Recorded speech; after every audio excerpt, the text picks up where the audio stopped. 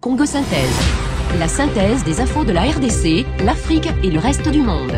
Une seule adresse www.congosynthèse.com. Rex Kazadi, vous vivez à l'extérieur. C'est vrai que vous l'avez suivi. On dit, notre gouvernement dit, ce n'est pas qu'en RDC qu'il y a le terrorisme. Est-ce l'excuse aujourd'hui pour euh, le gouvernement, comme disent une certaine opinion, de ne pas faire assez pour combattre le terrorisme? Vous savez, le terrorisme partout dans le monde est revendiqué. Lorsque les terroristes commettent un acte de terrorisme, ils le revendiquent. Est-ce que vous savez qui a fait ce qui s'est passé à Béni Nous n'en savons rien. Revendiqué par qui? Au nom de quoi? Les terroristes ont une idéologie. Ils veulent imposer l'islam du temps du prophète Mahomet partout dans le monde.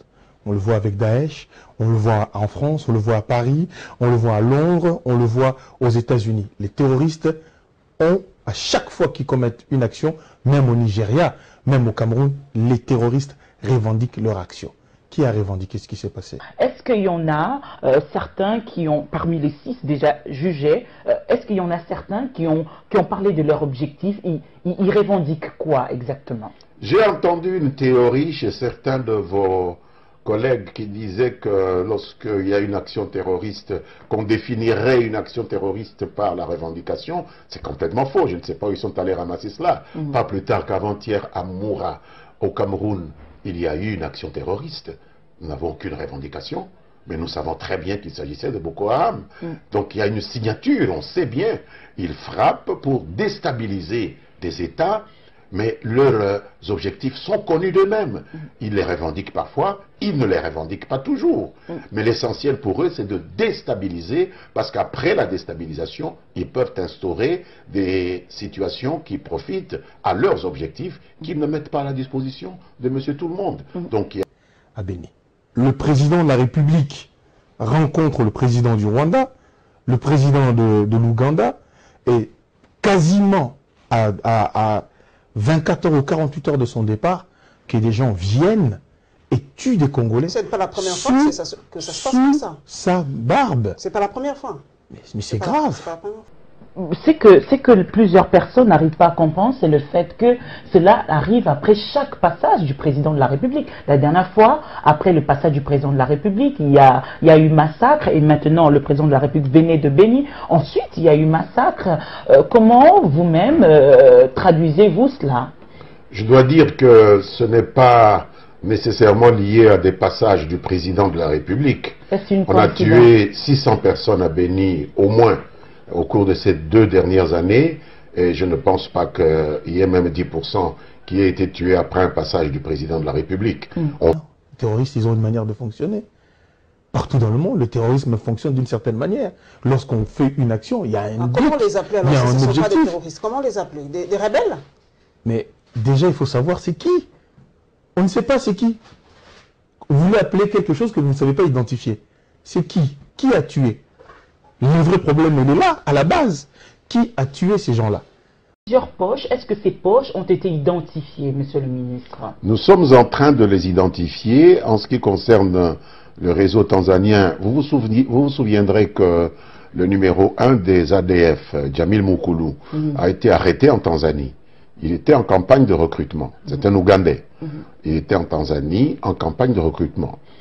On apprend que certains d'entre eux avaient l'uniforme de notre, armée nationale. Ce n'est pas moi qui le dis, c'est le porte-parole du gouvernement. Il y a un problème. Comment des gens peuvent se doter de notre uniforme? Donc à Béni, il y a un endroit où on achète le, tissu de l'armée, on, fait, on fabrique des, des- des- des uniformes. Il se passe des choses que l'on ne nous dit pas. Ce n'est pas clair. On a parlé aussi des tenues de, FRDC, justement, qui ont été utilisées par ces égorgeurs. Euh, euh, quelles sont les dispositions qui seront prises finalement? Euh, Est-ce que ces problèmes, lorsqu'il sera résolu, cela pourrait faire, en sorte que ces massacres stoppent, ces problèmes des tenues dédoublées, etc. Ce que nous savons à propos de ces tenues, de l'interrogatoire de ceux qui sont déjà passés entre les mains des experts de nos services judiciaires militaires, c'est que, un, ils sont récupérés soit sur les cadavres des militaires qui meurent au combat, vous savez, euh, nos militaires meurent lorsqu'ils se battent, des gens de l'ADF meurent, mais aussi nos militaires. Et donc ils prennent des tenues sur les cadavres des militaires. Deuxièmement, il y a des tenues qui sont dérobées dans les casernes de l'armée par des gens qui sont complices justement des ADF. C'est pourquoi nous insistons sur la nécessité pour la population de ne pas être complice de ces gens, même s'il a épousé même s'il il a, il a des relations commerciales avec vous, il ne faut pas se solidariser avec eux, parce que c'est tenu, quelqu'un les vole pour les leur donner. Nous avons à ce jour en 80, une quatre-vingtaine de gens qui sont là-bas détenus. Parmi eux, il y a des Congolais. Donc certainement que parmi ces Congolais-là, il y en a qui ont pu contribuer à voler ces tenues pour les donner aux ADF. Mm. Il n'y a aucun militaire parmi ces gens. Pourtant, ces ADF portaient des tenues militaires sans être répertorié comme militaire. Et je peux vous dire que s'il y a un militaire parmi ces gens-là, nous allons le punir beaucoup plus sévèrement que d'ordinaire. Et vous parlez de six qui passent déjà en jugement, il y en aura encore 74 parce qu'ils sont 80 mhm. en attente de jugement maintenant dans les géoles de Béni avec un imam de Boutembo, donc 81, donc 85 attendent de passer en jugement.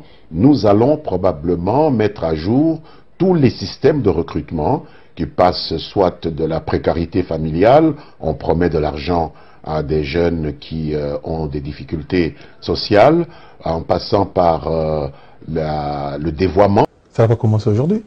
Savez que les actions, on attend les actions.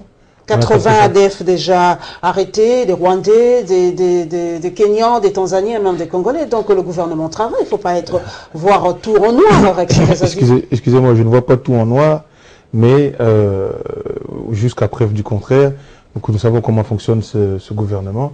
En règle générale, lorsqu'on arrête quelqu'un, on fait tout, on l'exhibe, on le montre sur toutes les chaînes de télévision, etc., etc.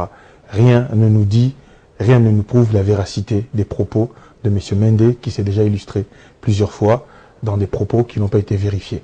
Donc moi, je, ne, crois que ce que je vois. Et les personnes dont il dit qu'ils ont été arrêtés, nous ne savons rien dessus. Si réellement ils veulent faire la lumière sur leurs actions, ça ne leur coûte rien de faire une commission parlementaire avec des gens de l'opposition hein, qui vont pouvoir vérifier et suivre et être sûrs réellement des actions posées par le gouvernement et qu'il euh, y a véritablement un travail pour protéger les sociétés civiles.